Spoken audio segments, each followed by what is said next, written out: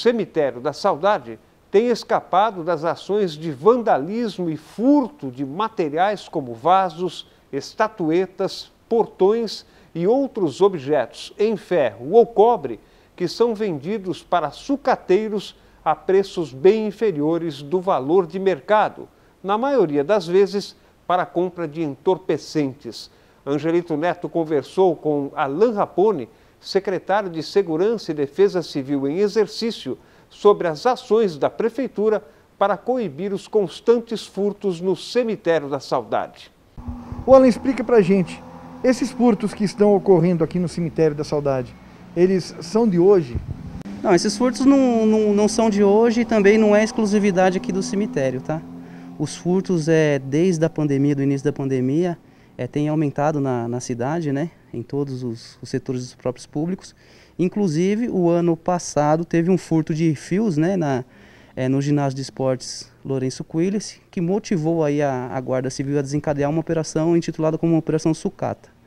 Essa Operação Sucata ela teve apoio do GGI, né, o Gabinete de Gestão Integrada, onde nós da Guarda Civil Municipal, com, com grande apoio também do delegado Dr. Sandro Montanari, conseguimos aí apreender mais ou menos uma tonelada de fios, né, fios de cobre, que tem um alto valor aí, onde essas pessoas, esses moradores de rua, não generalizando, né, mas entre eles ficam alguns furtadores, eles furtam pequenos cabos do, dos próprios públicos, residências e pequenos objetos aqui do cemitério e revendem para algum lugar, porque eles não vão colocar isso, né, não vão deixar lá na estante, vamos dizer assim. Então eles procuram pessoas ou empresas que compram esse material para poder aí a preço de banana revender esse tipo de material. Então essa operação sucata veio naquela época com esse intuito de reduzir esses furtos né, onde a gente orientava esses empresários, esses sucateiros, para que não adquiram esse tipo de material, não recepcionem esse tipo de material furtado, né? E com isso desmotivar essa, essa prática de furto aqui na cidade. Aqui no cemitério especificamente, o que eles chegam a furtar?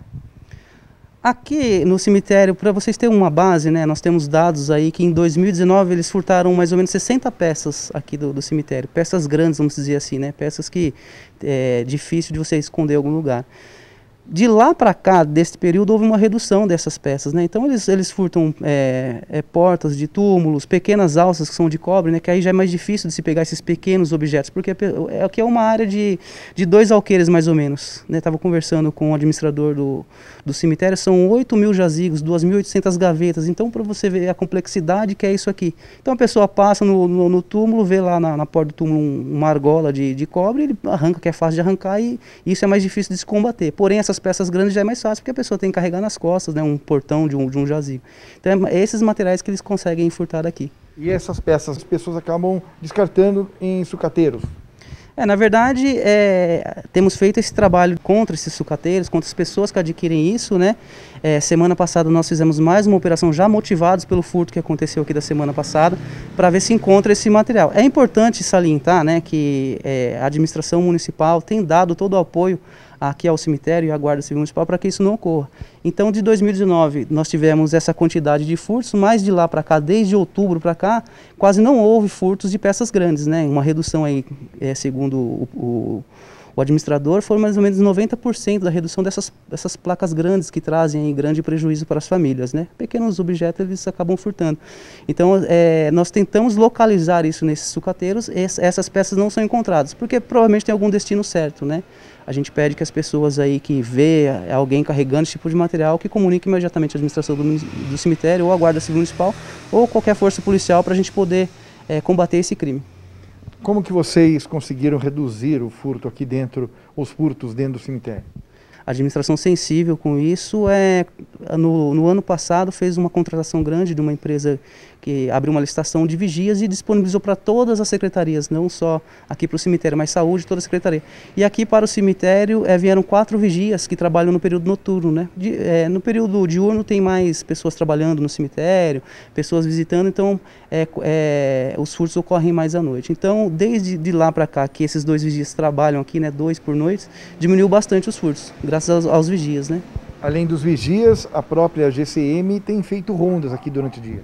Com certeza. É, não só os vigias, mas a Guarda Civil Municipal também. Nós fizemos um planejamento de intensificação de rondas aqui no, no cemitério. Né? Como é uma área muito grande, a gente não consegue deixar um, um guarda aqui, mas a gente disponibilizou a equipe de motos pela, pela, pela característica do cemitério, ruas pequenas, estreitas, a, a, a moto consegue fazer um perímetro maior foi pedido para que intensificasse, intensificou essas rondas aqui sim. Então, é, talvez esse resultado, aliado aos vigias e aliado ao esforço que todo, toda a administração está tendo, está reduzindo realmente esses furtos.